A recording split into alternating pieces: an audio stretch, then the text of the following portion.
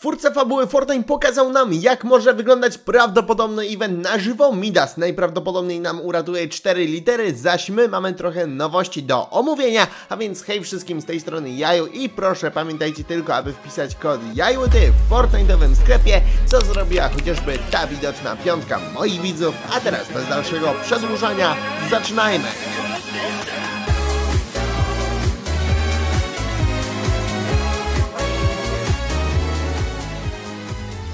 Na wstępie dzięki za 240 tysięcy subów, znowu i za docenienie mojej pracy poprzez komentarze, która według Was wyróżnia się na tle tych wszystkich barach w postaci filmów o darmowych widolcach czy rozdawaniu skinów co odcinek. Pamiętajcie, takie kanały to scam i nic więcej. Przedwczoraj i wczoraj trafiły do nas informacje o nowym evencie w postaci zwiastunów nowego wydarzenia na żywo. Widzimy tam chociażby to, jak tornada z chromu rozdzierają wyspę oraz informacje o tym, że event odbędzie się już 3 grudnia o 22 czasu polskiego. Na wczorajszym zwiastunie natomiast możemy dostrzec jeden wielki napis rozpad, a jeżeli go usuniemy, to dostrzeżemy wielką dziurę, która najprawdopodobniej zwiastuje to, co stanie się z wyspą już w przyszłym tygodniu. Tuż po evencie będziemy mogli pograć w tryb fabularny, zaś cały event ma trwać do nawet 40 minut, a przynajmniej na to wskazują pliki, co jest dość ciekawe, bo czyniłoby to go definitywnie najdłuższym eventem w historii Fortnite,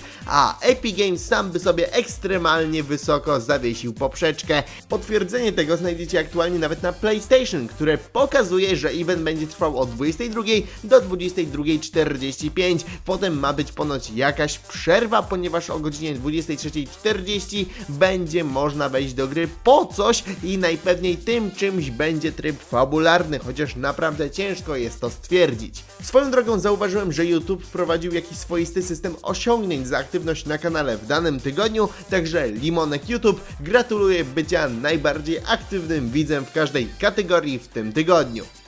Midas uratuje naszą wyspę lub pokona Chrom kosztem naszej wyspy, albo po prostu powróci. Myślę, że są to dość śmiałe postulaty, ale jeżeli w tym rozdziale Midas nie powróci, to równie dobrze może się już nigdy więcej nie pokazywać. Sądzę jednak, że aktualnie mamy po prostu zbyt dużo przecieków o królu Oro, aby ten scenariusz chociaż w części miałby się nie spełnić i tak, tak, wiem. Mnie też męczy już to, że Epic Games od roku próbuje tego Midasa upchać w fabułę i ciągle bez skutku skutecznie. Rozdział trzeci jednak wprowadził go nie tylko oficjalnie na wyspę, ale również do aktualnego eventu, a ponadto jego pliki pojawiły się już w sezonie czwartym. Aktualnie w grze egzystuje graffiti, które to pokazuje Midasa pochłoniętego przez Chrom, albo takiego, który się mu opiera, albo go kontroluje. Jest to główny przeciek dotyczący tego, że Midas może powrócić, jednakże aktualnie mamy dwie kolejne informacje, które definitywnie wskazują na jego powrót, jednakże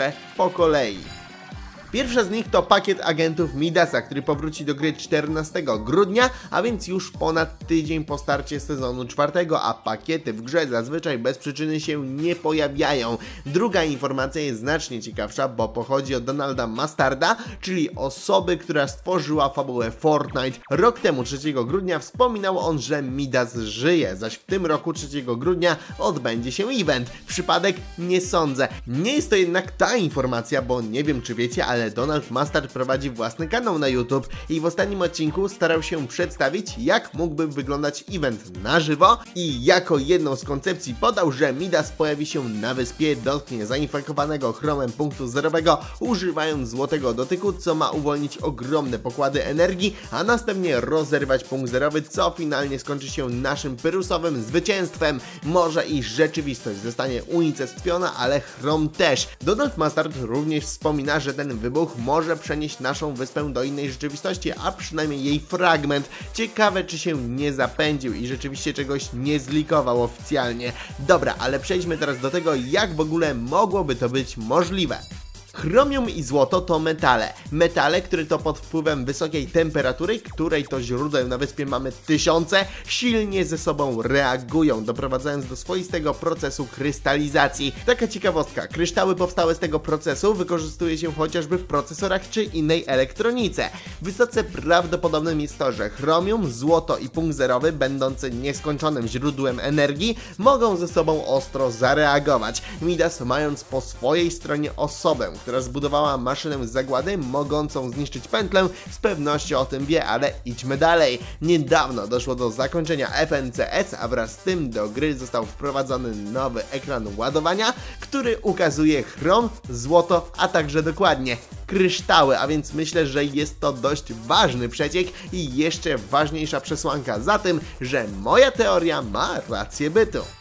Dajcie znać co o tym myślicie i czy wy również uważacie, że Midas, geniusz zbrodni i podwójnych intryg, powraca na wyspę, aby finalnie przejąć pełnię władzy. Pamiętajcie o kodzie JAJUT w Fortnite'owym sklepie, a ja tymczasem życzę wam wszystkim miłego dnia, trzymajcie się i cześć!